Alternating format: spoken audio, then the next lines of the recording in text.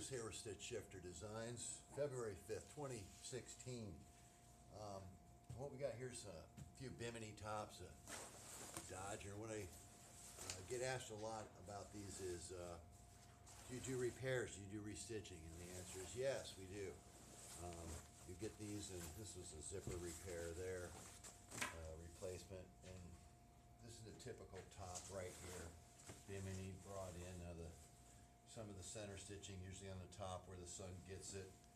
Um, it's fall, falling apart, and you'll see it's you know some of it's still together, but if you go down here to the end, you can just pull on it and you know comes right apart.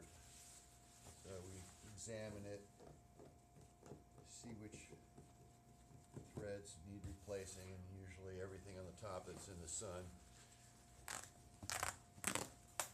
needs it, and we'll uh, pull that apart, restitch it, and uh, get another four or five years out of it. StitchShifterDesigns.com.